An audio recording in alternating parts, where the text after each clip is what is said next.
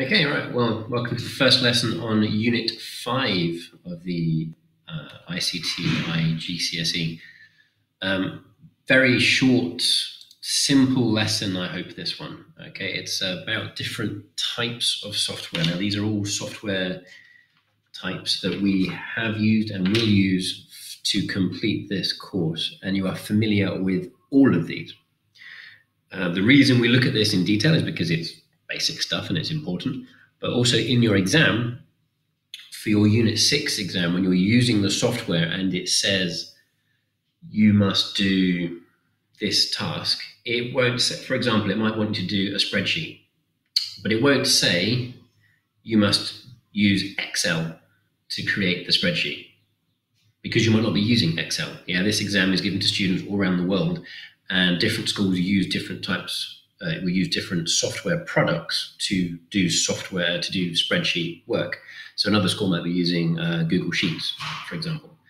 Um, other schools might have the Apple version. So that's why we need to know the names of these categories. So when it comes to the exam, you don't freeze up and think a software, uh, you know, a spreadsheet software. What's that? And you don't know. Whereas if they just said use Excel, you'd be like, oh, okay, right. So we need to know the, the names, the different categories. It's very easy. Um, so we're going to go through it. So what you need to do for this lesson, start off with your usual title uh, page where you've got a couple of uh, activities there for you to do. And you can see in the image here, these are the Microsoft uh, Office software products that you probably have used at some point. Um, so always just take a moment to think what types of software do you use most, either at school or at home? Uh, what do you use them for, and why do you use that specific piece of software? Um, for example, if you were going to edit photographs, would you use Photoshop or would you use Word? Right, basic. You'd use Photoshop because it's a dedicated graphics program that has got more functions that allow you to better edit photographs. Right, easy stuff. So go through that, do the numeracy question, have a go at the literacy task, and then we're going to go on to the first activity, the first proper activity, and I want you to just become familiar with some of the keywords we need to use today. And they are, those keywords are found from slide seven onwards. Okay, you've got four slides of keywords, eight keywords in total. You can see them there, multimedia, word processing, spreadsheets, graphics, database management, and presentation software, uh, ah, presentation software appears twice, and web authoring. Okay, so they are the things you need to learn. Okay. Uh, to do that, I want you just to very, very basic, back to basic stuff. How you're going to learn this is you're going to go to the resources section and look at the keywords, read each one carefully, look away, and write down the definition. Now, that could be in a different tab.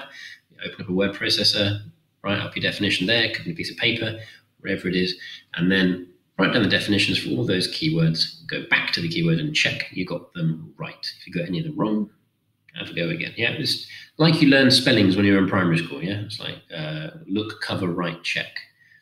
Very basic learning tool, very, very powerful. Okay, helps you get stuck in there. So that's what we need. Right, once you've done that, second task it down into two, A and B. Hopefully, both are very easy and straightforward for you. First bit, you've got your categories up here web processor, database, graphics, web authoring, presentation, spreadsheets. And down here, we've got all the Microsoft versions of it, with the exception of Composer, which is not Microsoft. And I want you to just match them up, right? I've done the first one for you. Microsoft Word obviously goes into the word processing category, right? Database, which one of these is a database piece of software? Which one of these is a graphics piece of software and so on, right? Once you've done that, uh, I then want you to use your own intelligence, your own experience. You could Google it and try and think of examples for each category, not Microsoft examples. We've done the Microsoft ones up here. So I've done the web processing one for you, right? Google Docs does web processing. Apple Pages does web processing. There's a piece of software that's free called LibreWriter that does um, word processing, and there's another piece of software called AbiWord that does word processing. So try and find different types of database software, different types of graphics. So graphics give you a clue. You could, I've already mentioned it, you could put in Photoshop in that one, right? But what else What does Apple have? What does Google have? What does Microsoft have? Okay, all these big companies have their own versions of the software, so you need to know the names of those. So if you hear that in conversation, you go into business, they might not be using, or you go to different school, go to university, they might be using a different uh, company's products. So you need to know what they're talking about. Um, so that's nice and straightforward. And last one.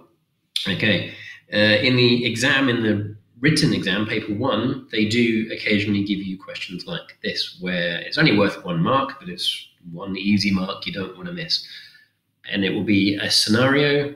So, for example, Ipswich Town Football Club, the greatest football club to ever grace League One, uh, are looking for a way of recording the money made each weekend, selling matchday programs and drinks. And then they want to show that information in a graph. What software category should they be using? Would they use Photoshop for that? No, because that's completely inappropriate. They'd use a spreadsheet piece of software, and then the example I've given is Google Sheets. Okay, so read through the other four scenarios. What category do they need? Presentation software, maybe, and give an example of that. Okay, and that is your lesson. Okay.